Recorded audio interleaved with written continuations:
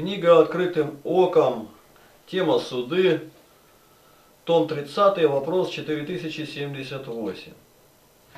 Если будут гнать христиан и даже, может быть, еще судить, а не только бессудной расправе предавать, то не следует ли хотя бы приблизительно знать законы своей страны и что говорить на суде? Вам же помогал кто-то, когда вас судили? Отвечает Игнатий Тихонович Лапкин. Помогал мне, передав через следователя Курьята ВК дьякон Бурдин Сергей. А. Но меня лишили последнего слова, и потому эти материалы мне не сгодились ни разу. Россия – это не фашистское государство, где Димитрову Г. помогло знание законов. Тут все иначе. Мы же избранные у Бога, как полагают патриоты. А потому главным будет знание закона Божьего и готовность страдать и умереть за Христа. Послушайте, как отвечают сегодняшние защитники народных интересов, желающие, чтобы всем русским было хорошо. Я молюсь за них, чтобы они познали Бога, жили для Бога и закончили жизнь в Боге. Кавычки открываются. Государственный обвинитель в прениях запросила Терехову с половиной года колонии поселения. Мне и Сычеву три с половиной года колонии поселения. На следующей неделе состоится оглашение приговора. С вероятностью 90% я буду взят под стражу и отправлен в тюрьму с последующей этапировкой в колонию поселения. А посему убедительно прошу. Первое. По возможности на максимальное количество известных вам адресов разослать с материалы моего слова в прениях и моего последнего слова в суде. Смотрите прикрепленные файлы. Я полагаю, это будет способствовать нашему общему делу. Второе. Вашими силами организовать сбор средств для поддержки моей многодетной семьи. На воле у меня остаются трое несовершеннолетних детей. 1994, 1997 и 2003 годов рождения, а также беременная жена, которая должна родить в ноябре месяце. Реквизиты прилагаются. 165-203 индекс, Амурская область, город Благовещенск, улица Политехническая, 163, дробь 1, Смирнова Елена Сергеевна.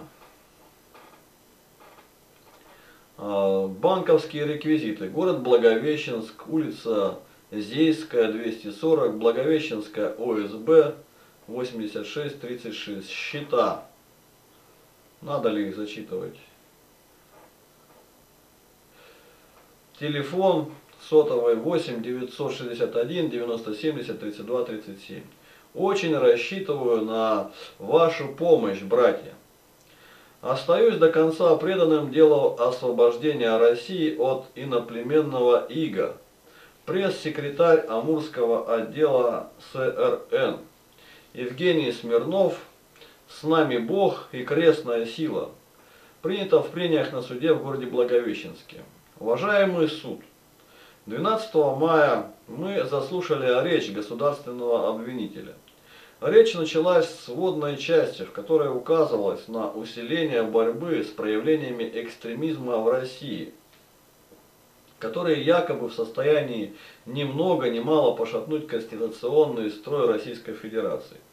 При этом государственный обвинитель позволял себе допускать э, голословные обвинения, не подкрепленные ссылками на статьи действующей Конституции РФ. Речь представителя стороны обвинения опиралась полностью на содержательную часть, прописанную в обвинительном заключении. Так, несмотря на исследование всех материалов дела в судебном заседании и предоставлении стороной защиты неопровержимых доказательств о том, что Амурский отдел Союза русского народа является лишь структурным подразделением Всероссийской организации Союза русского народа, который осуществляет всю деятельность в соответствии с частью 1 статьи 30 действующей Конституции России и федеральным законом об общественных организациях и политических партиях от 19 мая 1995 года, сторона обвинения с упорством настаивала на том, что Терехов и Ф. создал на территории Амурской области экстремистское общество. Каковы же факты, доказывающие эту гипотезу? А никаких. В то же время сторона защиты предоставила суду письмо за подписью председателя Союза русского народа генерал-полковника Ивашова ЛГ, из содержания которого становится понятно, что Всероссийская организация Союз русского народа была воссоздана съездом делегатов СРН 2000, э, 21 ноября 2005 года при участии великого русского художника Клыкова, М, э, Клыкова В.М.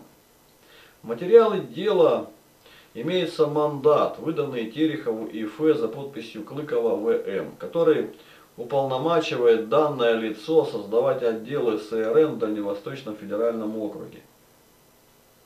Из показаний свидетелей обвинения Абеленцева В.Н., Сухарева Ю.В., Сасима И.М. установлено в судебном заседании, что СРН является всероссийской организацией, а Амурский отдел лишь его структурное подразделение. Процедура избрания председателя Амурского отдела была выполнена 21 января 2006 года в соответствии с уставом СРН. Можно с уверенностью сказать, что данная всероссийская организация никем никогда не запрещалась и никаким судом не признавалась экстремистской организацией. Но если центральная организация никогда не была под судом, то как можно объявить преступным ее филиал? С какой стати? Тем более, что никаких преступлений, зафиксированных в судебном порядке организованная Тереховым группа граждан не совершала. Гособвинитель многократно в своей речи утверждал, что преступными деяниями являлось проведение заседаний Совета Амурского отдела СРН и собраний Амурского отдела СРН специально для повышения правовой образованности данного товарища не поминая, что стих 31 действующей Конституции еще никто не отменял, а она гласит, граждане Российской Федерации имеют право собираться мирно, без оружия, проводить собрания, митинги, демонстрации, шествия и пикетирование. Представленные стороной обвинения голословные утверждения о наличии в группе единого преступного умысла – и цели на планирование и организацию преступления в отношении лиц нерусской национальности не нашли своего документального подтверждения. Таким образом становится абсолютно понятным надуманность и лживость фабрикуемых обвинений со стороны обвинения по части 1 и части 2 статьи 282 э, пункт 1 УК РФ о создании на территории Амурской области экстремистского сообщества. Государственный обвинитель ссылается в своей речи на мою удовлетворительную характеристику, предоставленную суду участковым инспектором и подшитую, э, и подшитую к материалам дела. Ну и что же мы находим в данном документе? Может, гражданин Смирнов ведет антиобщественный образ жизни, употребляет алкоголь и наркотики, беспрерывно дебоширит и скандалит с соседями? Или занимается развратом, соблазняя неокрепшие молодые души? Отнюдь.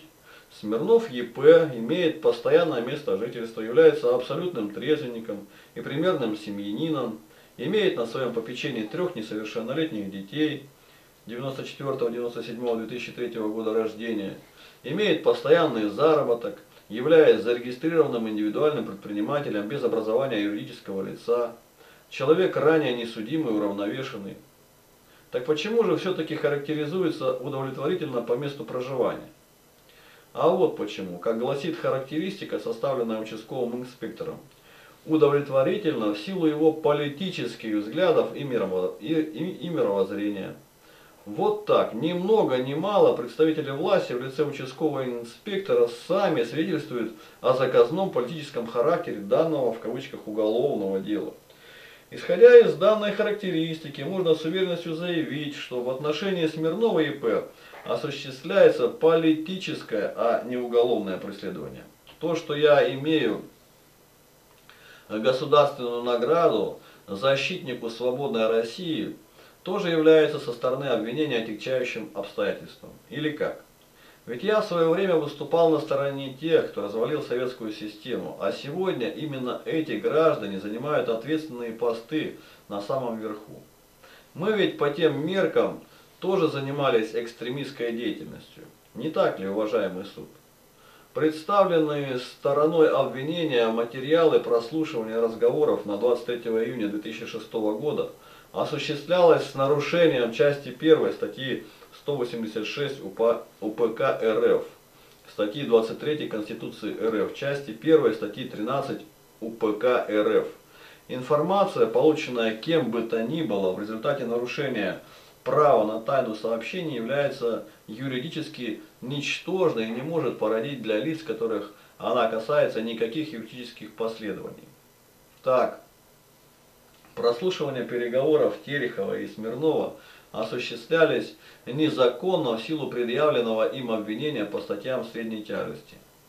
К тому же санкции суда на прослушивание гражданина Смирнова у оперативных сотрудников отсутствовало. Тем не менее, со, э, тем не менее сторона обвинения кладет эти доказательства в, материал, в материалы дела и ссылается на них в судебных прениях. Это лишний раз доказывает суду о предвзятости, некомпетентности и ангажированности следователей прокуратуры Амурской области. Выступление на митинге 28 января 2006 года граждан Терехова и Смирнова было узконаправленным и затрагивало тему, заявленную в уведомлении, а именно выражение протеста по поводу творимых в России, политических репрессий. Интервью Терехова и Смирнова после митинга не показала ни одна из присутствовавших телекомпаний города. Ни договоров, ни финансовых соглашений между Тереховым и Смирновым с одной стороны и телекомпаниями города с другой стороны – Стороной обвинения не было предоставлено суду в качестве доказательств, что данные граждане совершали свои деяния с использованием э, средств массовой информации. Тем не менее, недопущение к эфиру интервью Терехова и Смирнова сторона обвинения кладет в основу предъявленного обвинения. Я отвергаю домыслы государственного обвинителя о том, что наша деятельность Э, явно противоречит этическим правилам и моральным нормам поведения в обществе. Я заявляю, что активная гражданская позиция, основанная на конституционном праве на объединение граждан и направленная на оказание помощи гражданам, стремящимся к самоорганизации в общественно-политическое движение, для решения насущных проблем русского народа является самой моральной и самой этичной. А моральной же является позиция следствия, оперативных служб, фабрикующих материалы уголовного дела, склоняющих неустойчивых граждан к лжесвидетельству, извращающих факты в угоду заказчикам нашего уголовного преследования. Слушая выступление государственного обвинителя, у меня сложилось устойчивое мнение, что сторона обвинения игнорирует проведенную судом работу в судебном следствии. Так из речи государственного обвинителя несколько раз звучала фраза о том, что Смирнов ЕП был одет в форменную куртку черного цвета с нашитыми атрибутами экстремистского сообщества. А как видно из материалов оперативной съемки, на мне была одета простая кожаная куртка без атрибутов, к тому же китайского производства. Все это свидетельствует, что сторона обвинения не утруждает себя излишней кропотливой работой по сбору и предоставлению суду качественных доказательств вины подозреваемых, выражая тем самым крайнюю степень неуважения к судебной системе РФ. Что касается утверждения стороны обвинения, что так называемое экстремистское сообщество использовало на митинге свои черно-желто-белые флаги, которые также унижали человеческое достоинство граждан иных национальностей, это лишь доказывает абсолютную историческую неграмотность и наплевательское отношение к собственной истории страны, которая недопустима со стороны лиц, занимающих такие высокие ответственные посты. Специально для государственного обвинения я процитирую историческую справку, чтобы впредь с ее стороны не звучало столь безграмотных ляпсусов. Указом Александра II от 11 июня 1858 года был введен черно-желто-белый гербовый флаг. Слово гербовый в кавычки взято. Указ утвержден Сенатом года по докладу министра императорского двора графа В. Адлербера. Разработчиком флага явился, вероятно, Б. Кенне. Объяснение выбора такого флага содержится в тексте указа. Полное собрание законов Российской империи. Том 33, номер 33289. Сторона обвинения заявила в своей речи, цитата, «Оценка показаний свидетелей являются достоверными и могут быть положены в основу обвинения». Но если они достоверны, то как быть с показаниями тех же свидетелей обвинения Абеленцева, Сухарева, э, Сасима и М, Кахридзе, Барабаша П, Логачева С, Корякина В, Дуденкова, Дульченко, которые заявили, что призывов к насильственному свержению конституционного строя и призывов к расправе с лицами еврейской и иных национальностей со стороны обвиняемых не было.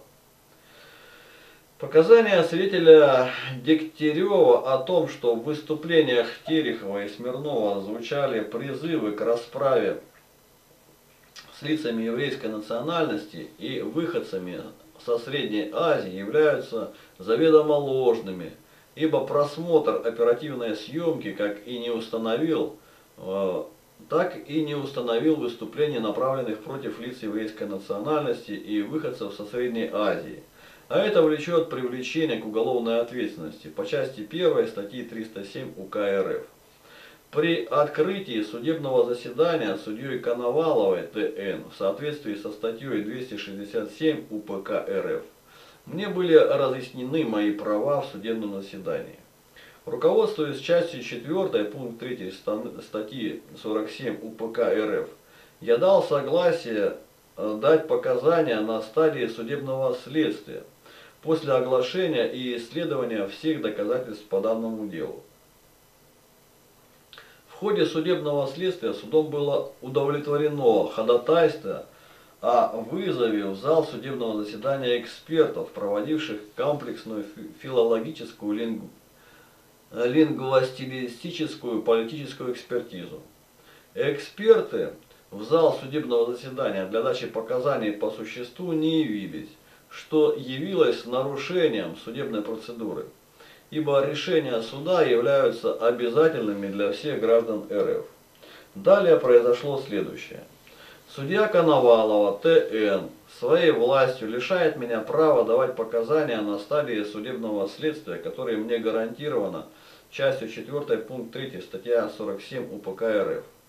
Еще раз я настаиваю, я был согласен давать показания на стадии судебного следствия.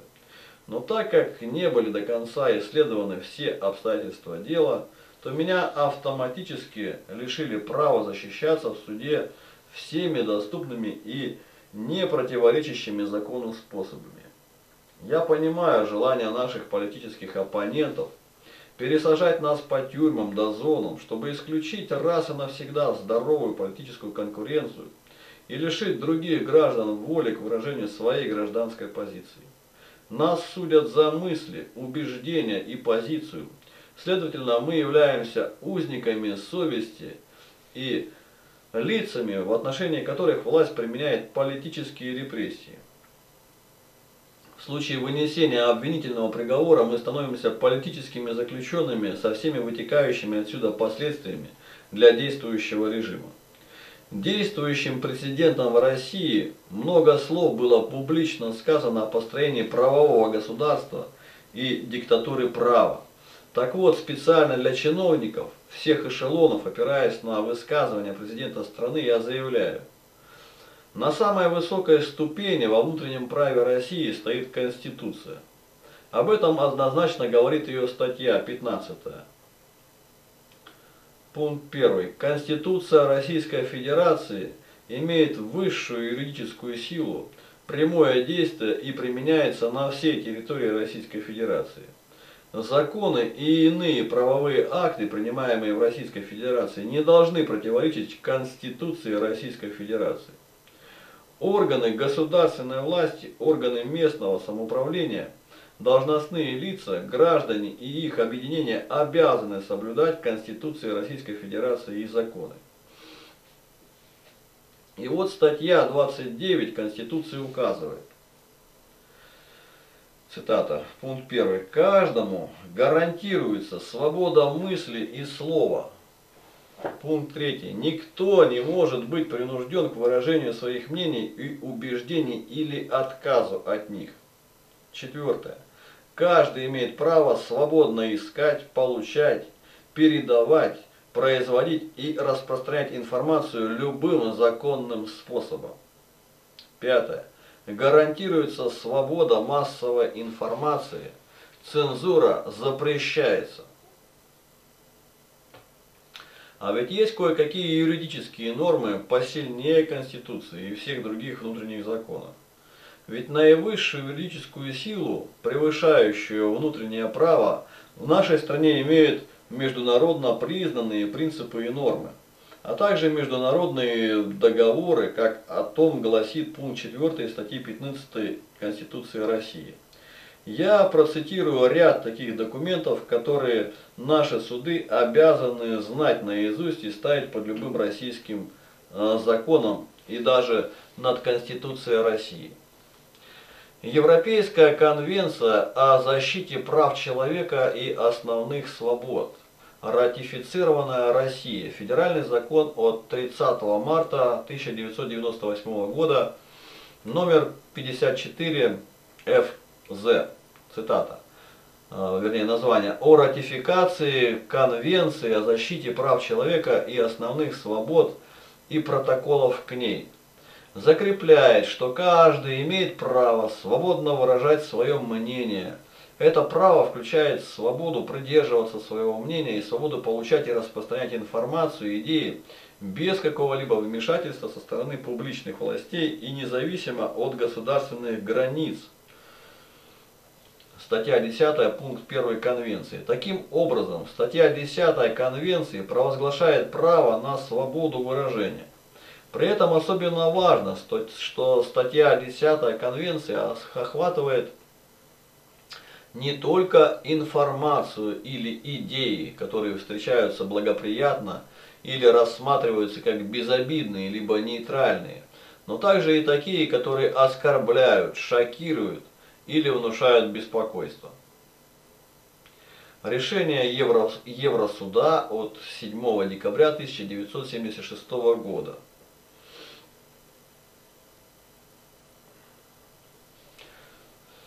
Тут дальше на каком-то языке, не могу прочитать, Хайдес FD на английском, United Kingdom, опубликовано Series A24. Для Евросуда решение которого, напомню, обязательно для России. Одним из факторов особой значимости является роль, которую играет пресса в демократическом обществе. По мнению Евросуда, долг прессы состоит в том, чтобы сообщать любым способом информацию и идеи по всем вопросам, представляющим общественный интерес. При этом журналистская свобода включает также возможность прибегнуть к некоторой степени преувеличения или даже провокации – Европейский суд по правам человека и защита свободы слова в России. Прецеденты, анализ, рекомендации. Том 1. Москва. Институт проблем информационного права. 2002 год. Страница 139-192. Так, в постановлении по делу Лингенес против Австрии 1986 года Европейский суд по правам человека указал, что, цитата, Свобода печати наделяет общество одним из самых совершенных инструментов, позволяющих узнать и составить представление об идеях и позициях политических лидеров. В более общем виде можно сказать, что свобода политической дискуссии составляет стержень концепции демократического общества, которая проходит через всю конвенцию.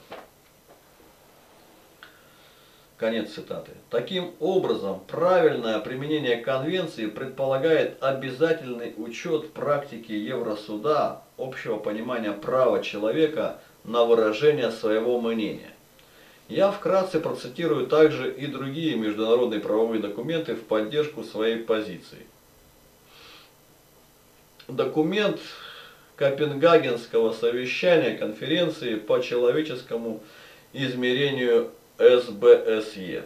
Принят 29 июня 1990 года 30 государствами-участниками совещания по безопасности и сотрудничеству в Европе. Двоеточие, кавычки открываются. Пункт 9. Государства-участники подтверждают, что 9.1. Каждый человек имеет право на свободу выражения своего мнения, включая право на общение. Это право включает свободу придерживаться своего мнения и получать и распространять информацию и идеи без вмешательства со стороны государственных властей и независимо от государственных границ. Пункт 26.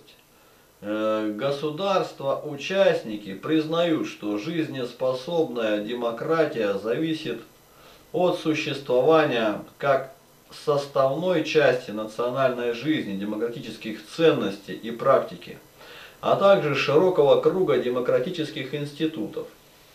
Они будут поэтому поощрять, облегчать и там, где это целесообразно, поддерживать совместные практические усилия и обмен информацией, идеями и опытом между ними и в рамках прямых контактов и сотрудничества между отдельными лицами, группами и организациями в областях, включающих следующее. Журналистику, независимые средства массовой информации, интеллектуальную и культурную жизнь. Кавычки закрыты. Всеобщая декларация прав человека и Международный пакт о гражданских и политических правах. Первая из них гласит, статья 19, цитата, Каждый человек имеет право на свободу убеждений и на свободное выражение их. Это право включает свободу беспрепятственно придерживаться своих убеждений и свободу искать, получать и распространять информацию и идею и идеи любыми средствами и независимо от государственных границ. Второй поддерживает, статья 19. Второй подтверждает, статья 19, цитата, пункт 1. Каждый человек имеет право беспрепятственно придерживаться своих мнений. Второе. Каждый человек имеет право на свободное выражение своего мнения. Это право включает свободу искать, получать и распространять всякого рода информацию и идеи независимо от государственных границ, устно, письменно или посредством печати или художественного форм, художественных форм выражения или иным способом по своему выбору. В середине 1970-х диссиденты, в конец замордованные режимом, выдвинули в кавычках неубиенный лозунг, которому власть не могла предъявить претензий. И от того особенно эту власть бесивший. Они требовали просто и ясно – выполняйте свою конституцию. Мы, политические диссиденты, с начала 21 века, видимо, полностью поддерживаем это требование и призываем судебные и прокурорские органы современной демократической России безусловно соблюдать свою конституцию и те международно-правовые документы, которые ратифицировало руководство страны. Государственное обвинение запросило у суда для меня три года, шесть месяцев лишения свободы в колонии поселения. Я так понимаю, сторона обвинения решила внести свой посильный вклад в празднование года семьи, которую торжественно и с помпой намечено отмечать в демократической России. По, глубокому убеждению государственного обвинителя наличие трех несовершеннолетних детей – и ожидания четвертого должно быть отягча... отягчающим обстоятельством современной России. Пусть в отсутствие отца они передохнут с голода, зато это обстоятельство будет свидетельствовать о том, чтобы русские люди многократно задумались над решениями демографического вопроса в стране, победившей всеобщей толерантности и тотальной демократии. Я прошу не выносить заранее неправосудного решения, которое все равно в соответствии с международно-правовыми документами придется отменять, а лиц, незаконно подвергнувшихся политическим репрессиям, реабилитировать. Исходя из вышеизложенных обстоятельств дела, я прошу Благовещенский городской суд оправдать меня в зале судебного заседания в связи с отсутствием в моих деяниях состава преступления. Спасибо за внимание. Евгений Смирнов, 15 мая 2008 год. Конец цитаты. Далее Игнатий Тихонович приводит место священного писания. Евангелие от Матфея, 10 глава, с 19 по 22 стихи. Когда же будут предавать вас, не заботьтесь, как или что сказать, ибо в тот час дано будет вам что сказать. Ибо не вы будете говорить, но Дух Отца вашего будет говорить вас.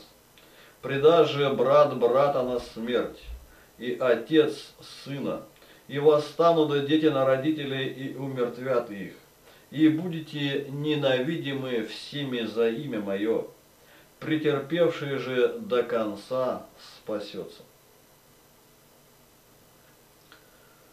Послание к филиппийцам, 1 глава, с 28 по 30 стих. «И не страшитесь ни в чем противников. Это для них есть предзнаменование погибели, а для вас спасение. И сие от Бога, потому что вам дано ради Христа не только веровать в Него, но и страдать за Него таким же подвигом, какой вы видели во мне и ныне слышите о мне. На опыте прошедших поколений мы учимся ошибкам большей частью. Чадит отпущенное, наконец истлеет. Бог через плоть к душе не достучался. Он у дверей, истоков всех болезней. Христос стучит, и долго ожидает, как будто вымерли, в подвалы все залезли, считая дом свой крепостью, державой. Читая Библию, мы точно познаем о горе и беде, закрывшихся от Бога. Саркома в тех мозгах и узок окоем, и просят отойти от них, и их не трогать. Нередко целые народы, континенты в стерильной чистоте от голоса пророков. Казнь приближалась. Их Господь пометил, наслал беду и, сдвинув с места, проклял. Идет история кругами и спиралью, ветки греха наматывая круто. Законы совести и Библии попрали, и пыль и дым с незавершенным кругом. Нигде ничто бесследно не исчезнет, оставит след и опыт передаст. Содом с Гаморой погрузились в бездну, там с лесбиянкой мерзкой педераст. Вникайте, трепещите, масоны и жиды, все распинатели Христа, Его заветов, и если первый мир Господь не пощадил, то как спасется атеист и скептик? Примеров гибели нам выдан океан. Черту всем извергам псалтирь подводит четко. Трясется Каин, груб презренный хам, сексоты все, бегущие с поклепом. Вникаем в образы, дошедшие до нас – к нам через них стучится в совесть искупитель. Кто с Ноем в церкви, корабле, тех спас, а прочие раздавлены. несчастьем все убиты. 19 ноября 2008 год. Игнатий Лапкин.